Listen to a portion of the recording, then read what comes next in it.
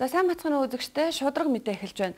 Монгол Ардын хувьсгалт намаас Монгол Улсын ерөнхийлөгчд нэр дэвшиг Сайнхүүгийн Ганбаатар иргэд сонгогчдтойгоо уулзах уулзалтууд үргэлжилсээр байна. За тэрээр Баян зүрх дүүргийн сонгогчдтойгоо уулзсан байна. Уулзалтын үеэр сонгогчд нэр дэвшигчийг хамгийн шудраг, шуналгүй нэр дэвшигч гэж онцолж байсан байна. Үндсэн чинь бол тэнд бол авах юм байх. Монгол Ардын намаас Монгол Улсын ерөнхийлөгчд нэр дэвшигч Сайнхүүгийн Ганбаатар Баян зүрх дүүргийн иргэдтэй уулзах уулзалтаа Баян зүрх дүүргийн эрүүл мэндийн нэгдлийн эмч ажилчтай уулзснаар эхэллээ. Тэрээр өнөөдөр эрүүл мэндийн салбарт тулгарч байгаа асуудлын талаар эмч, сувилагч, эмнэлгийн ажилчтай ярилцаж тэдний асуултанд хариулж санал бодлоо солилцлоо. Өнөөдөр энэ хүмүүсийн нийгмийн асуудал цалинг би олон жил ярьж ирсэн. Энэ хүмүүсээ хамгаалахаас илүү энэ хүмүүсийн зүтгэж байгаа Монгол хүний алтан амийг үнэлээч. Монголын төр Монгол хүний алтан амийг хямдханаар үнэлж. Миний ерөнхийлөгч болоод хийх ёстой ажлын нэгийн эхний ажлууд бол эмнэлгийн ажилтнуудын бүх тулгамж байгаа бэрхшээлүүдийг цуглуулад анализ хийгээд хуулийн гаргалгаа гаргаад засгийн газартаа энэ тэнцвэр хэмжээнд төртөө хилцээр торох боломжийг өгч энэ хилцээрээр ойлголцсон зүйлийг шууд хууль болгоно. Тэгэхгүй өнөөдөр эмнэлгийн тухай хууль, хариуцлагын одоо эмчийн хариуцлагын тухай хууль, эрүүл мэндийн даатгалын тухай хууль гэдэг өмнө байсан хуулиуд маш олон эмнэлгийн хуулиуд эмч эмнэлгийн ажилтнуудаас саналыг авахгүйгээр хийсэн байдаг. Өнөөдөр эмч эмнэлгийн ажилтнуудад хамгийн том 2 дугаар тулгамж байгаа зүйл гэвэл эдэн төсөв байхгүй.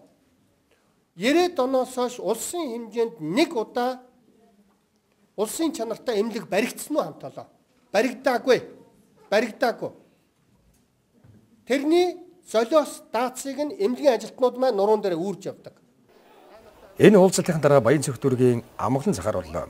Ихэнх нь эмэгтэйчүүд энд ажиллаж, лангууны төрөөсөө төлж, ажил амьдралаа нуруунд дээр үүрч сэтгэлийн тэнхээтэй байдагт бахархаж явдаг илэрхийлсэн юм. Амьдрал гундуухан байгаа. Ёстой эрвих тэрвихээрээ хөдөлж биднээс амьдралын төлөө зүтгэж байна.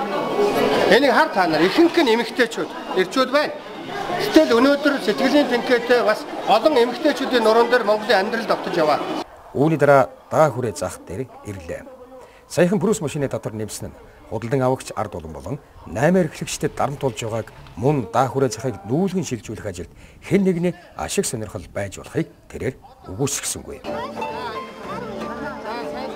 Орой 19 цагт Жокийн хөшөөн дээр Баян зүрх дүүргийн иргэдэд сонгогчтойгоо уулзах уулзалтаа эхэллээ. Нэр дэвшигч маань энэхүү хөшөөний баруун талд байрлах хаан банкнд газрын даргаар анхлан ажил хөдөлмөрийнхөө гарааг эхэлж байснаа дурсаж өнөөдөр хүртэл энэ дүүрэгтээ оршин сууж байгаа хамгийн дотн ээлтэй сайхан газар гэдгийг онцлон хэлж байлаа.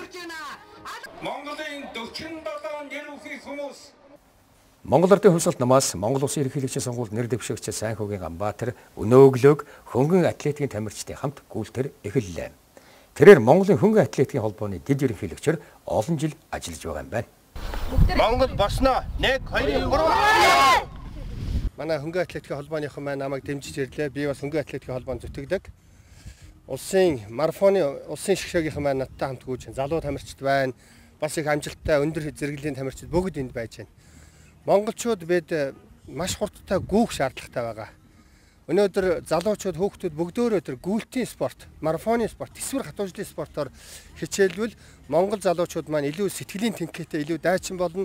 Энэ утгаараа монголчууд маань илүү хүчтэй хөгжнөө. Ингээд хөнгө атлетикийн холбооны одоо үйл ажиллагаа Монгол залуучуудыг маань сэтгэлийн тэнхээтэй байлгах, амьдрал дулам дайчин байлгах гэдэг ийм л зорилготой юм байгаа юм байна. Йоо Ганбатар шинж манай хөнгө атлетикийн холбооны олон жил дид иргэлж хийж байгаа марафон гүйлт энэ хөнгө атлетикийн спортыг маш сайн дэмждэг, ойлгодог. Тэгээд яг ард түмнээс дотроос ийм гарч ирсэн ийм хүн байна цаашид эргэлж болосоо манай ард түмэн гамбар эргэлжийг эргэлж болосоо гэж дэмжиж байгаа. Үзэгчдээ шудраг мэдээний түрээд өндөрлөж байна. Маргааш иргэд болцъё.